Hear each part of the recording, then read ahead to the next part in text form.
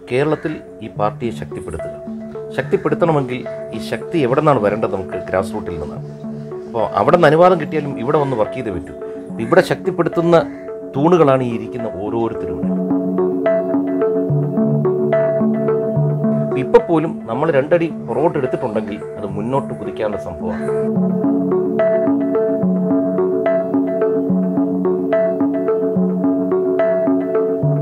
ഇന്ന് ഒറ്റ പാർട്ടി ഉള്ളൂ. രാജ്യസ്നേഹികളുടെ ഒരു പാർട്ടി എന്ന് പറയുന്നത് ഭാരതീയ ജനതാ പാർട്ടി മാത്രമാണ്. ഇതിന്റെ ദുഃഖാചരണത്തിൽ നിന്ന് മാറി നിൽക്കുകയാണ് കമ്മ്യൂണിസ്റ്റ് പാർട്ടി പോലെ ഒരു പാർട്ടി. ഒന്ന് ഓർക്കണം. ഭാരതത്തിന്റെ കാവൽക്കാരാണ് ഇവർ നമ്മളിന്ന് കിടന്നുറങ്ങുന്നത് അതിനകത്ത് അവർക്ക് കമ്മ്യൂണിസ്റ്റും ഇല്ല കോൺഗ്രസും ഇല്ല ബി ജെ പി ഇല്ല.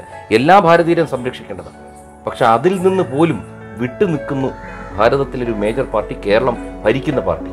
വരുന്ന അഞ്ച് കൊല്ലത്തിൽ നമ്മൾ ആത്മാർത്ഥമായിട്ട് പ്രവർത്തിക്കുക പാർട്ടിക്ക് വേണ്ടി. ഒന്നും നോക്കരുത്. പാർട്ടിയെ ഭരണത്തിൽ കൊണ്ടുവരണം. അതായത് മറ്റുള്ളവർ നടക്കില്ല എന്ന് പറയുന്ന ഒരു കാര്യം നടത്തി കാണിക്കണം നമ്മൾ.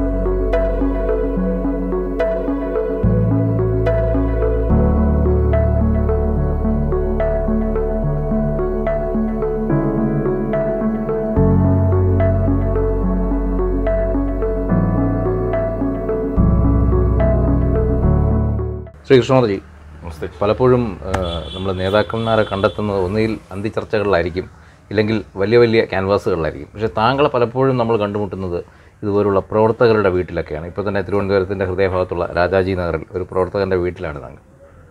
പ്രവർത്തകൻ എന്ന് മാത്രം പറഞ്ഞാൽ പോരാ. മനു എന്ന് വെച്ചാൽ ഭയങ്കര ഊർജസ്വലാണ് മനു മാത്രമല്ല ഇവിടെ ഇരിക്കുന്നവർ ഓരോരുത്തരും. കാരണം ഇലക്ഷൻ സമയത്ത് ഏറ്റവും ശക്തമായ പ്രചരണം നടന്ന രണ്ട് മൂന്ന് മേഖലകളിൽ ഒന്നാണ് രാജാജി നഗർ.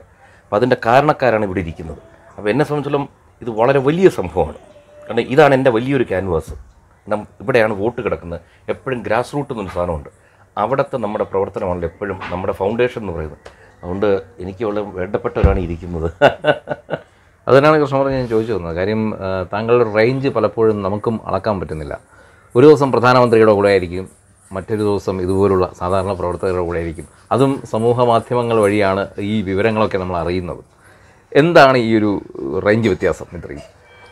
വേറൊന്നുമല്ല നമുക്ക് ജോലി ചെയ്യാൻ ഇഷ്ടമാണ്. അപ്പോൾ സിനിമയിൽ അഭിനയിക്കാൻ വന്നു. അഭിനയിക്കാൻ വരുമ്പോഴും നമ്മൾ വിചാരിച്ചു എന്റെ നായക വേഷം എത്തണം എന്നൊക്കെ വിചാരിച്ച് വലിയ സ്വപ്നങ്ങളുമായിട്ടാണ് തന്നെ വന്നത്. പക്ഷെ നമുക്ക് ഇടി കൊടുക്കാനല്ലായിരുന്നു യോഗം. ഇടി വാങ്ങിക്കാനായിരുന്നു. വഴിയെ പോയിരുന്നൊക്കെ ഇടി വാങ്ങിച്ചു. അപ്പോൾ ദൈവം ഇങ്ങനെ എപ്പോഴും പലതും മാറ്റി മാറ്റി കൊണ്ടുവരും നമ്മൾ ഓരോ റോളിൽ പക്ഷെ അന്നും ജനങ്ങളുമായിട്ട് ഞാൻ എപ്പോഴും വളരെയധികം മിങ്കിൾ ചെയ്താണ് പൊയ്ക്കൊണ്ടിരുന്നത് അപ്പോൾ ഈ ഇലക്ഷൻ സമയത്തൊക്കെ അല്ലെങ്കിൽ നമ്മൾ ഒന്ന് അഭിനയിക്കേണ്ടി വരും. പക്ഷെ ഞാൻ എന്നും തോളിൽ കൈയിട്ട് പൊക്കൊണ്ടിരുന്ന ഒരാളായതുകൊണ്ട് സിനിമയിലൂടെ നമ്മളെല്ലാം പഠിപ്പിച്ചു തന്നു. എങ്ങനെ ജനങ്ങളുമായിട്ട് മിങ്കിൾ ചെയ്യണം. ഈ റിജക്ഷൻ ഈസ് റീഡയറക്ഷൻ എന്ന് പലപ്പോഴും പറയും. നമുക്കവിടെ ഒരു റിജക്ഷൻ വന്നു സിനിമയിൽ അപ്പോൾ ഞാൻ ആലോചിച്ചു ഇതെങ്ങോട്ടോ നമ്മളെ വഴി മാറ്റാനാണല്ലോ. അപ്പോൾ ചിലപ്പോൾ ഇപ്പോൾ പത്ത് അൻപത്തിമൂന്ന് വയസ്സായി. ഇത്രയും കാലം നമ്മൾ അതിൽ തന്നെ പത്ത് ഇരുപത്തേഴ് കൊല്ലം കുടുംബത്തിന്റെ കൂടെ ജീവിച്ചു. ചിലപ്പോൾ നമ്മളെ ഇഷ്ടപ്പെട്ട നമ്മളെ വളർത്തിയ ജനങ്ങൾക്ക് വേണ്ടി ആയിരിക്കാം ഇനിയുള്ള ബാക്കിയുള്ള കാലം. അതുകൊണ്ടായിരിക്കാം എനിക്ക് എപ്പോഴും ബി ജെ പി എന്ന് പറഞ്ഞ ഭാരതീയ ജനതാ പാർട്ടിയോടുള്ള ഇഷ്ടം എന്ന് വെച്ച് കഴിഞ്ഞാൽ ഞാൻ പാർട്ടിയിൽ താരതമ്യേന ഒരു പുതിയ ആളാണ്.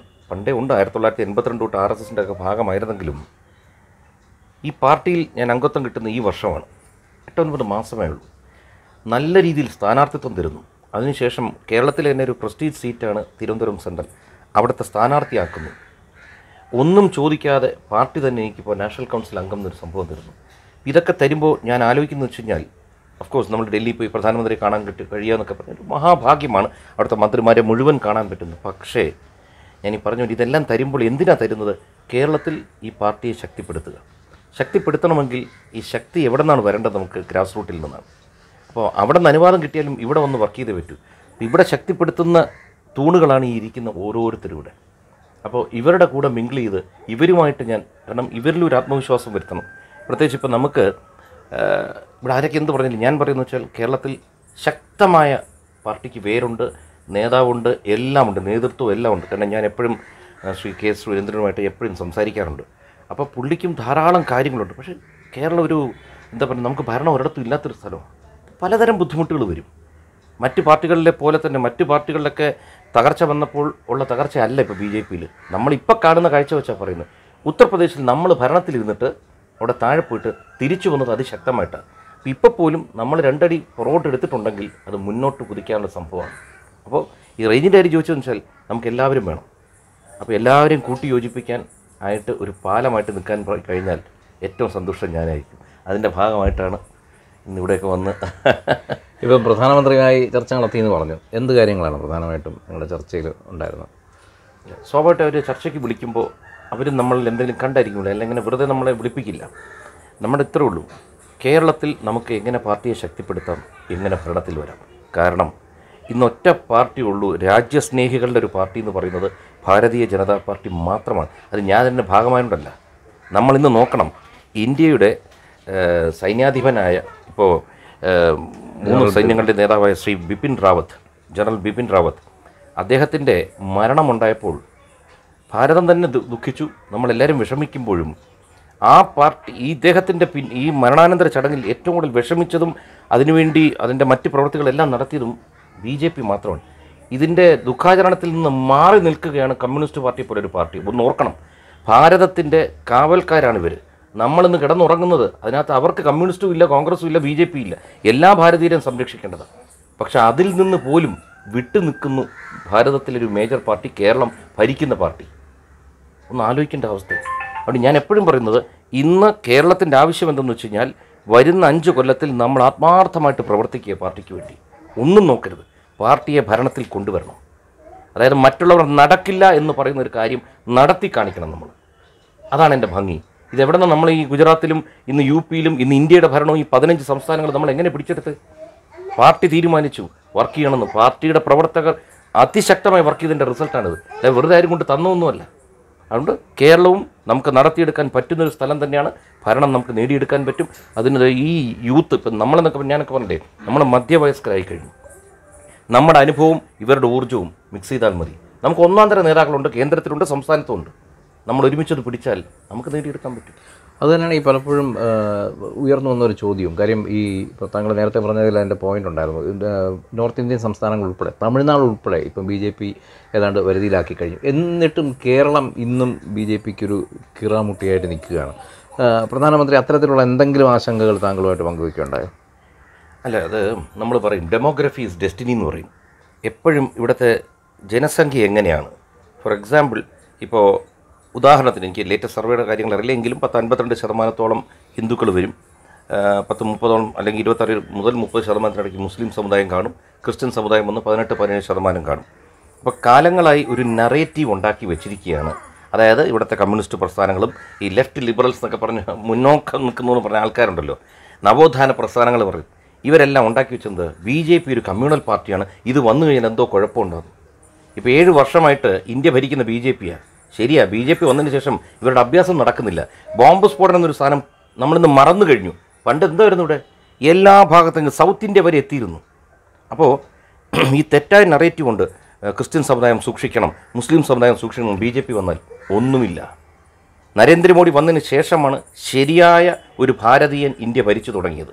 അതായത് എല്ലാ ഭാരതീയരെയും ഒരുമിച്ച് കൊണ്ടുപോകുന്ന അദ്ദേഹം വെറുതെ അല്ല സബ്കാ സാത്ത് സബ്കാ വിശ്വാസ് ഒക്കെ പറയുന്നത്. എന്നാൽ എല്ലാവരെയും ഒരുമിച്ച് കൊണ്ടുവന്നു. ഇവിടെ ഗ്യാസ് കണക്ഷൻ ഫ്രീ ആയിട്ട് കൊടുത്തു. എന്താ ഹിന്ദുക്കൾക്ക് മാത്രമാണോ? അല്ല. ശ്രീ ഗഡ്കരിജി അദ്ദേഹം റോഡ് പണിയുന്നു. അത് ആർക്ക് വേണ്ടിയാണ് എല്ലാവർക്കും യാത്ര ചെയ്യാൻ. അല്ലാതെ അതിനകത്ത് ഹിന്ദു മാത്രമേ പോലെ ബി ജെ പിക്കാർ മാത്രമേ പോകാവൂ. ഇതെല്ലാം ജനങ്ങളിപ്പോൾ കണ്ടു തുടങ്ങി. അപ്പോൾ ഇത് മാറി വരാൻ കുറച്ച് സമയമെടുക്കും. സ്വാഭാവികമായിട്ടും ഓരോ പാർട്ടികളുടെ ഇഷ്ടങ്ങൾ കേരളത്തിലുള്ളവർക്ക് കാണും. അതനുസരിച്ച് അവർ വോട്ട് ചെയ്ത് വന്നുകൊണ്ടിരുന്നു. അവർക്കൊരു കാരണം വേണം ഇനി മാറി വരാൻ. അത് സ്വാഭാവികമായിട്ടും ബി ജെ പിയുടെ തിങ്ക് ടാങ്ക്സ് ഉണ്ട് ചിന്തിക്കാൻ കഴിവുള്ളവരുണ്ട്.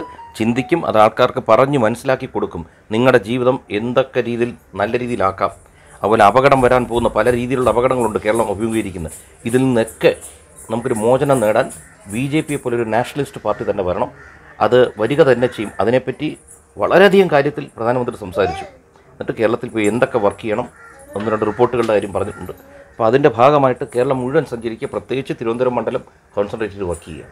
ഈ ബോംബ് ഭീഷണിയുടെ കാര്യം നേരത്തെ പറഞ്ഞു. ഇപ്പോൾ അങ്ങനെ ഒരു കേൾക്കാനേ ഇല്ലെന്ന്. പക്ഷേ കേരളത്തെ ആശങ്ക ആശങ്കപ്പെടുത്തുന്ന മറ്റൊരു പ്രധാന സംഭവമാണ് ഇവിടെ വളർന്നു വരുന്ന ഈ ടെററിസം ജിഹാദി. ഇപ്പം നാർക്കോട്ടിസം ഒക്കെ നമ്മൾ കണ്ടു കഴിഞ്ഞ പ്രാവശ്യം. ഇപ്പോൾ അതിനെ തുടർന്ന് ഈ ജനറൽ ബിപിൻ റാവത്തിന്റെ കാര്യം പറഞ്ഞപ്പോൾ തന്നെ അദ്ദേഹം മരിച്ച ദിവസം അദ്ദേഹത്തിനെതിരെ പോലും സമൂഹ മാധ്യമങ്ങളിൽ വളരെ മോശമായ കമന്റ് ഇട്ടത് ഇത്തരത്തിലുള്ള ജിഹാദി ഗ്രൂപ്പിൽപ്പെട്ടവരാണ്. ഈ തമിഴ്നാട്ടിലെ കാഴ്ചകളൊക്കെ നമ്മൾ കണ്ടതാണ്. വീരവണക്കം ചെയ്തുകൊണ്ട് സ്ത്രീകളും കുട്ടികളും ഒക്കെ റോഡിന്റെ ഇരുസൈകളിൽ നിന്ന് സല്യൂട്ട് കൊടുക്കുമ്പോൾ ഇവിടെ മലയാളികൾ ചെയ്തത് അദ്ദേഹത്തെ അവഹേളിക്കുകയാണ് ചെയ്തത്. ഇതൊരു വലിയ സംഭവം ഒരു ആശങ്ക ഉണ്ടാക്കുന്നുണ്ടോ നമ്മളെ സംബന്ധിച്ചിടത്തോളം? ആശങ്ക മാത്രമല്ല ഇതിൽ ആക്ച്വലി നമ്മൾ മലയാളി എന്ന് പറയുന്ന തെറ്റാണ്. മല നമ്മളിലൊരു ചെറിയ വിഭാഗമാണ് ഇത് കാണിക്കുന്നത്. പക്ഷേ ഈ negative voices much more vociferous എന്ന് പറയും. ഈ നെഗറ്റീവാണ് കേൾക്കുന്നത്. ഇദ്ദേഹത്തോട് ഇഷ്ടവും അദ്ദേഹത്തിന്റെ മരണത്തിൽ ദുഃഖിച്ചവരുമാണ് ബഹുഭൂരിപക്ഷവും. പക്ഷെ എന്തു പറ്റി? സോഷ്യൽ മീഡിയക്കകത്ത് ഈ ഇത്തരം ഈ ജിഹാദികളുമായിട്ട് ബന്ധപ്പെട്ടവർ അല്ലെങ്കിൽ ഈ ലെഫ്റ്റ് ലിബറൽസ് എന്ന് പറഞ്ഞവർ അവർ വന്ന് ഭയങ്കരമായിട്ട് അവർ ആഘോഷിച്ചു ഇത്. അപ്പം നമ്മൾ കൂടുതലും കണ്ടത് കേരളത്തിൽ നിന്നാണ് ഏറ്റവും കൂടുതൽ ഇത്തരം റിയാക്ഷൻസ് വന്നിരിക്കുന്നത്. അദ്ദേഹത്തിന്റെ ബോഡി കടന്നു പോകുമ്പോൾ തമിഴ്നാട്ടിൽ കരയുകയായിരുന്നു ആൾക്കാർ തമിഴ് സഹോദരി സഹോദരങ്ങൾ കരയുകയായിരുന്നു ബോഡി കണ്ടിട്ട്. ഇവിടെ നമ്മളും കരയാണ് വിങ്ങുകയാണ്. പക്ഷെ എന്തു പറ്റി? ഈ സോഷ്യൽ മീഡിയക്കകത്ത് ഇത്തരം ക്ഷുദ്രജീവികൾ ഈ രാജ്യദ്രോഹികൾ ഇങ്ങനെ കാട്ടി കൂട്ടി അപ്പോൾ അത് ഇന്ത്യ മുഴുവൻ നോട്ട് ചെയ്യാണ്. ഒന്ന് ആലോചിക്കണം നമ്മൾ മലയാളികൾ എന്താ മോശക്കാരാ? വളരെ നല്ലവരാ. ബഹുഭൂരിപക്ഷം വരുന്നവരും. പക്ഷേ ഇത്തരം കോമാളി കൂട്ടങ്ങൾ കാണിച്ചു വെച്ച് നമുക്ക് ഒന്നടങ്കം മലയാളി സമൂഹത്തിന് തന്നെ ഇന്ത്യയിൽ അത് അപമാനമായിരിക്കുകയാണ്. ഇതിനെതിരെ അതിശക്തമായ അതായത് കേന്ദ്രത്തിൽ നിന്ന് ഇത്തരം ഈ സെഡീഷൻ ആക്ട് പ്രകാരം ഇത്തരം രാജ്യദ്രോഹ നടപടികൾക്കെതിരെ നടപടി എടുക്കാൻ പറഞ്ഞിട്ടും കേരളത്തിൽ മാത്രമാണ് ഒരു നടപടി എടുക്കാത്തത്. ഇത് ദുഃഖകരമായ കാര്യമാണ്. ഇതൊരു തെറ്റായ ട്രെൻഡാണ്. ഇത്തരം പ്രവണതകൾ നമ്മൾ ഇപ്പോൾ ഒതുക്കിയില്ലെങ്കിൽ ആ ശരിയെന്ന് തോന്നും. വരുന്ന വരുന്ന തലമുറയ്ക്ക് ഇത്തരം പ്രവൃത്തികളാണ് ശരിയെന്ന് തോന്നി ഇതിലോട്ട് കൂടുതൽ ആൾക്കാർ അട്രാക്ട് ചെയ്യും. കേരളത്തിന് അത്ര സുഖകരമല്ലാത്ത ഒരു ഭാവിയാണ് വരാൻ പോകുന്നത്. ഇപ്പോൾ ഈ ഇലക്ഷൻ കഴിഞ്ഞിട്ട് ഇപ്പം എട്ടൊമ്പത് മാസമായിരിക്കുന്നു. ഈ ബി ജെ പിയുടെ പ്രവർത്തനത്തിൽ ഇപ്പോൾ ഒരു മാറ്റം വന്നിട്ടുണ്ടോ? ഇനിയുള്ള അടുത്ത കാര്യങ്ങൾക്ക് വേണ്ടിയുള്ള. അല്ല സ്വാഭാവികമായിട്ട് മാറ്റം വരും. നമുക്ക് ഒരു ദിവസം രാവിലെ മാറ്റാവുന്ന ഒരു സംഭവമല്ല. കാരണം ഇതൊരു പ്രാദേശിക പാർട്ടിയല്ല. നമ്മളൊരു നാഷണലിസ്റ്റ് പാർട്ടിയാണ്. അപ്പോൾ ഇവിടെ എന്തെങ്കിലും എടുക്കുമ്പോഴും കേന്ദ്രവുമായി കൂടിയാലോചിച്ചിട്ട് എല്ലാ നമുക്ക് നിയമല്ലേ നമുക്ക് അതിശക്തമായ അടിത്തറയുണ്ട് എല്ലാം ഉണ്ട്. പക്ഷെ ഒരു ദിവസം കൊണ്ട് ഒരു മാറ്റവും സംഭവിക്കില്ല സംഭവിക്കരുത്. നമുക്ക് ഇലക്ഷൻ തോറ്റു. നമുക്ക് എല്ലാ സീറ്റും പോയി എന്ന് പറഞ്ഞ് നമ്മൾ മുട്ടിടിച്ചിട്ട് കാര്യമില്ല. നമ്മൾ ഇരുന്ന് സാവധാനം ചിന്തിച്ച് ഇപ്പം തന്നെ മാറ്റങ്ങൾ വരും. ഉറപ്പായിട്ട് ഇപ്പം തന്നെ സംഘടനാ തലത്തിൽ എത്രമാത്രം മാറ്റം വന്നു. ഇതിൽ തന്നെ രഞ്ജുവിന് പുതിയൊരു സ്ഥാനം കിട്ടിയിരിക്കുകയാണ്. യു വളരെ ചെറുപ്പക്കാരനാണ്. അപ്പോൾ ഇത് പതുക്കെ പതുക്കെ കൊണ്ടുവരാവും മാറ്റങ്ങൾ. എടുപിടി എന്ന് പറഞ്ഞ് നമ്മളൊന്നും ചെയ്യരുത്. നമ്മളെപ്പോഴും നമ്മുടെ നേതൃത്വത്തിൽ നമ്മൾ വിശ്വാസം അർപ്പിക്കണം. ഒരു തവണ തോറ്റു എന്ന് പറഞ്ഞ് ഇവരെല്ലാം ശരിയല്ല. നീ വേറൊരാളെ കൊണ്ടുവന്ന കൊണ്ടുവന്നിട്ട് എന്താണ്? എപ്പോഴും നമ്മൾ അവരിൽ വിശ്വാസം അർപ്പിക്കുക. സമയം എന്നൊരു സാധനമുണ്ട്. ഈ കണ്ട വലിയ പാർട്ടികളെല്ലാം താഴെ പൊട്ടി പൊളിഞ്ഞു പോയിട്ട് തിരിച്ചു കയറി വന്നവരാണ്. നമുക്കും അതുപോലെയുള്ളൂ നമ്മളൊന്നും നേടിയിട്ടില്ലായിരുന്നു ഒരേ ഒരു സീറ്റ് ഉണ്ടായിരുന്നു പോയി. സാരമില്ല. നമുക്ക് തിരിച്ചു വരാൻ കഴിയും.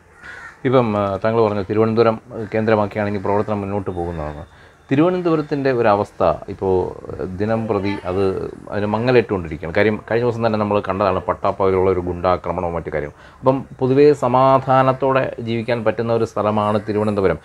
രണ്ടായിരത്തി പതിനെട്ടിൽ മഹാപ്രളയം വന്നപ്പോഴും മറ്റ് ജില്ലകളിലുള്ളവർ പറഞ്ഞത് തിരുവനന്തപുരത്തിന് ഒരു സമാധാനമുണ്ട്. ആ ജില്ലയുടെ ഒരു സ്വഭാവമാണ് അവിടെ ഉള്ളവർക്കുള്ളത്.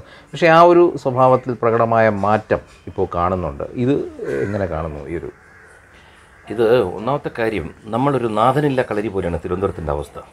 ഇപ്പം നമുക്കിവിടെ പല പദ്ധതികൾ കൊണ്ടുവരാൻ പറ്റുന്ന ഏത് രാജ്യത്തും ഏത് സ്റ്റേറ്റിലും പോയാലും അവിടുത്തെ തലസ്ഥാന ജില്ലയ്ക്കാണ് ഏറ്റവും കൂടുതൽ പ്രാധാന്യം കൊടുക്കുന്നത്.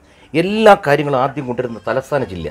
ഒരു മെട്രോ തന്നെ എടുക്കുക. ഇപ്പോൾ കൊച്ചി വികസിക്കേണ്ടതല്ല. കൊച്ചി കേരളത്തിന്റെ ഭാഗമാണ്. അവിടെയൊക്കെ നല്ലതാണ് പക്ഷേ തിരുവനന്തപുരത്ത് എന്തുകൊണ്ട് വരുന്നില്ല? ഇവിടെ തന്നെ വന്നിരിക്കുന്ന വികസന പദ്ധതികൾ നോക്കുക. ഇപ്പം നമ്മുടെ ഹൈവേ വന്നിട്ടുണ്ട്. ആരാണ് ഇത് കൊണ്ടുവന്നത് എല്ലാവർക്കും കേന്ദ്രത്തിന്റെ പദ്ധതിയാണ്. അല്ലെ ഇലക്ഷൻ ആകുമ്പോൾ എന്താ ചെയ്യുന്നത് കുറച്ച് പ്രതിപക്ഷത്തിന് മറ്റൊരു ആൾക്കാർ പോയിരുന്ന് ചിരിച്ചുകൊണ്ടുള്ള ഫ്ലെക്സ് അങ്ങ് വയ്ക്കും ഇപ്പം നമ്മുടെ ഇവിടുത്തെ എം പിയെ തന്നെ നമ്മൾ എടുക്കുക. ഈ എം പി എത്ര തവണ കേരളത്തിൽ വരുന്നുണ്ട്? എന്തെങ്കിലും ഒരു അത്യാവശ്യത്തിന് പുള്ളിയെ കിട്ടുമോ ഇല്ല.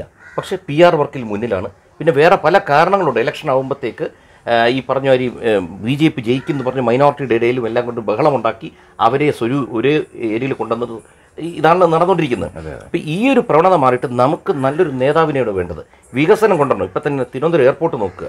ഇന്ന് ഈ അദാനിക്ക് കൊടുത്തില്ലായിരുന്നെങ്കിൽ അടുത്ത പത്തു കൊല്ലം കഴിഞ്ഞാൽ തിരുവനന്തപുരം എയർപോർട്ട് പൂട്ടിയാൻ ഇവിടെ നിന്ന് നമുക്ക് ഒറ്റ ഫ്ലൈറ്റ് ഇല്ല. കൊച്ചിയിൽ നിന്ന് നാലും അഞ്ചും ഫ്ലൈറ്റ് ബാംഗ്ലൂരിന് പോകുമ്പോൾ നമുക്ക് ഇവിടെ നിന്ന് ഒറ്റ ഫ്ലൈറ്റാണ് ഡൽഹിക്ക് നമുക്ക് ഒറ്റ ഫ്ലൈറ്റ് അവിടെ നിന്ന് വിസ്താരം മാത്രം. ഇതൊക്കെ എവിടെ പോകുന്നു? ഇവിടുത്തെ ഫ്ലൈറ്റുകൾ മുഴുവൻ കൊച്ചിയിലോട്ട് ട്രാൻസ്ഫർ ചെയ്യുന്നു. യു എസിന് ഡയറക്ട് ഫ്ലൈറ്റ് കൊച്ചിയിൽ നിന്നാണ്. അതാണ്. അപ്പം ഞാൻ ചോദിക്കുന്നത് എന്താണ് ഇവിടുത്തെ എം പി ചെയ്യുന്നത്? ശ്രീ ശശി തരൂർ എന്നൊരു വ്യക്തിയുണ്ട്. ഇദ്ദേഹം എന്ത് ചെയ്യുന്നു? ഇതൊക്കെ നമ്മൾ ആരും ചോദിക്കുന്നില്ല. വോട്ട് വെറുതെ അഞ്ചു കൊല്ലം കൂടെ ഇട്ടാൽ പോരാ. നമ്മൾ ആലോചിക്കണം വോട്ട് ഇട്ട് കൊടുത്താൽ നമുക്ക് എന്തൊക്കെ തിരിച്ചു തരുന്നുണ്ട്? ഇത് ചോദിക്കാനുള്ള അധികാരം ജനങ്ങൾക്കുണ്ട്. പക്ഷെ ഞാനൊരു പാർട്ടിയിൽ വിശ്വസിക്കുന്നു വെച്ചാൽ അന്ധമായിട്ട് ആ പാർട്ടി ചെയ്യുന്നതും അല്ലെങ്കിൽ ആ പാർട്ടിയുടെ നേതാവ് ചെയ്യുന്നത് ശരിയെന്ന് പറയാൻ പാടില്ല. തെറ്റ് തെറ്റ് തന്നെയാണ്. തിരുവനന്തപുരത്തെ തീർത്തും അവഗണിച്ചിട്ടിരിക്കുകയാണ്. ഇനി അടുത്തത് വരാൻ പോകുന്നൊരു കുഴപ്പം വെച്ചാൽ ഇവിടെ മഴക്കാലം മുന്നേ റോഡ് മുഴുവൻ പൊളിഞ്ഞു കഴിഞ്ഞു തിരുവനന്തപുരത്ത്. തിരുവനന്തപുരമാണെങ്കിൽ മറ്റിടത്തും ഇങ്ങനെയാണെന്ന് അറിയില്ല. ഇതിന്റെ കാരണം പലതുമാണ് പറയുന്നത്. ലോകത്ത് നല്ല ക്വാളിറ്റി ആയിട്ട് ടാർ ചെയ്ത് കഴിഞ്ഞാൽ പത്തും പതിനഞ്ചും കൊല്ലം കിടക്കേണ്ട റോഡാണ് ഒരു ചെറിയ മഴയത്ത് പൊളിയുന്നത്. ഇപ്പം മെയിന്റനൻസും ഇല്ല. എന്താണ് നടക്കുന്നത് ആർക്കും അറിയില്ല. ഈ തിരുവനന്തപുരം കേന്ദ്രീകരിച്ച് പ്രവർത്തിക്കുമ്പോൾ തിരുവനന്തപുരത്തിന് വേണ്ടി ചെയ്യുന്ന ഒരു പ്രധാനപ്പെട്ട കാര്യങ്ങൾ എന്തൊക്കെയാണ്? ആദ്യം തന്നെ പറയട്ടെ ശംഖുമുഖം എന്നൊരു സ്ഥലം തകർന്നു കിടക്കുക. ഒന്ന് എയർപോർട്ടിലോട്ട് പോകാനുള്ള വഴി അടഞ്ഞു കഴിഞ്ഞു. അപ്പുറത്തോട്ട് ചുറ്റിപ്പോകുന്ന വെച്ചാൽ അവിടെയും ഇപ്പോൾ റോഡ് വർക്ക് നടക്കുന്നു. ഒന്ന് ആലോചിക്കണം എമർജൻസി ആയിട്ട് എയർപോർട്ടിലോട്ട് പോകേണ്ട ആൾക്ക് ഏതുവഴി പോകും രണ്ടാമത്തെ വിഷയം എയർപോർട്ടിലോട്ട് പോകുമ്പോഴത്തേക്ക് ഒരു ഡൈവേർഷൻ ബോർഡ് വയ്ക്കുക ഈ ബോർഡ് പൂട്ടി ഈ റോഡ് പൊളിഞ്ഞു കിടക്കണം ഇതുവഴി റോഡ് അടച്ചിരിക്കുകയാണ്. അപ്പോൾ അവരപ്പുറത്തൊരു പോകും ഇത് ലാസ്റ്റ് മിനിറ്റ് ഇത്രയും കറങ്ങി അവിടെ ചെല്ലുമ്പോഴറിയുന്ന എയർപോർട്ട് അടച്ചിട്ടിരിക്കുക റോഡ്. ആൾക്കാർ തിരിച്ചു പോകുമ്പോൾ ഫ്ലൈറ്റ് മിസ്സാവും രണ്ടാമത്തെ വിഷയം ശംഖുമുഖം എന്ന് പറഞ്ഞാൽ എത്രയോ ആൾക്കാർ അവരുടെ കുടുംബമായിട്ട് വൈകുന്നേരം വന്ന് ഒന്ന് സമയം ചെലവഴിക്കുന്ന കുടുംബമായിട്ട് സന്തുഷ്ടമായിട്ട് ഒരു സമയം ചെലവഴിക്കുന്ന സ്ഥലമായിരുന്നു ശംഖുമുഖം. അത് തകർന്നിട്ട് ഏകദേശം നാല് കൊല്ലം കഴിഞ്ഞു. അടുത്തത് ആറാട്ട് കടവ് ഈ എയർപോർട്ടും ഈ രാജ്യത്തെ ഈ തിരുവനന്തപുരം സിറ്റിക്കകത്ത് എല്ലാ വികസനത്തിനും കാരണം രാജകുടുംബമാണ്. അവരുടെ നിയന്ത്രണത്തിലുള്ള പത്മനാഭസ്വാമി ക്ഷേത്രവുമായി ബന്ധപ്പെട്ട ആറാട്ട് കടവ് എന്ന് പറഞ്ഞൊരു സ്ഥലം വളരെ നമ്മുടെ ചരിത്രപ്രധാനമായ സ്ഥലമാണ്. അത് പൊളിഞ്ഞു പോയിട്ട് ഒരാളും തിരിഞ്ഞു നോക്കുന്നില്ല. ഹിന്ദുക്കളുടെ ഹിന്ദു ഒരു സാംസ്കാരിക പ്രാധാന്യമുള്ള സ്ഥലമാണ് ഈ ആറാട്ട് കടവ് അല്ലെങ്കിൽ ആറാട്ട് പത്മനാഭസ്വാമി ക്ഷേത്രം എന്ന് പറഞ്ഞാൽ. ഇതിനെ അവഗണിക്കുന്നത് കരുതിക്കൂട്ടിയാണ് അവഗണിക്കുന്നത്. ആ ഭാഗത്ത് പത്മനാഭസ്വാമിയായിട്ട് ബന്ധപ്പെട്ട കുറേ കാര്യങ്ങളാണ് അവിടെ വെക്കേണ്ടത്. അതിന് പകരം ഒരു പൊളിഞ്ഞൊരു ഹെലികോപ്റ്റർ ഒരു തെറ്റായൊരു പ്രതിമ അവിടെ കൊണ്ട് വെക്കുക. ഇതൊന്നുമല്ല ചെയ്യേണ്ടത്. ആ സ്ഥലത്തെ മനോഹരമാക്കി ശ്രീ പത്മനാഭന്റെ പേരിൽ വേണം അവിടെ എല്ലാം ഉണ്ടാക്കാൻ. ആറാട്ടുകടവൊക്കെ എന്തായി തീരും നമുക്കറിയത്തില്ല. പക്ഷേ ഞാൻ മിനിസ്റ്ററെ പോയി കണ്ട് ശ്രീ റിയാസിനെ കൊണ്ട് ഒരു ലെറ്റർ വരെ ഞാൻ കൊടുത്തു. അവിടെ എന്തൊക്കെ പണിയുമ്പോഴും ആറാട്ടുകടവ് നിങ്ങൾ നല്ല രീതിയിൽ കെട്ടണം എന്റെ അകത്ത്. ഇത്തരം കാര്യങ്ങൾ കേന്ദ്രത്തിന്റെ ശ്രദ്ധയിൽപ്പെടുത്തിയിട്ടുണ്ടോ നമുക്ക് കേന്ദ്രത്തിന് ശ്രദ്ധപ്പെടുത്താൻ നമുക്ക് ലെറ്ററുകൾ അയക്കാൻ പറ്റും. എത്രയൊക്കെ ആയാലും ഇത്തരം കാര്യങ്ങൾ സ്റ്റേറ്റ് ഗവൺമെന്റിന്റെ അനുവാദത്തോട് മാത്രമേ ചെയ്യാൻ പറ്റൂ. നമ്മളൊരു ഫെഡറൽ സിസ്റ്റത്തിലാണ് നമ്മൾ പോകുന്നത്. അതെ അതെ. ഇതൊക്കെയാണ് കേന്ദ്രം അനാവശ്യമായിട്ട് ഇടപെടുന്നു ഉടനെ ബഹളം ഉണ്ടാക്കും. ഇത് പല മേഖല ലോ ആൻഡ് ഓർഡർ പോലൊരു വിഷയമാണിത്. ഏതായാലും ഈ തിരക്കിട്ട വേളയിലും ഇത്തരം കുറച്ച് കാര്യങ്ങൾ പങ്കുവച്ചതിന് വളരെയധികം വളരെ സന്തോഷം. നന്ദി.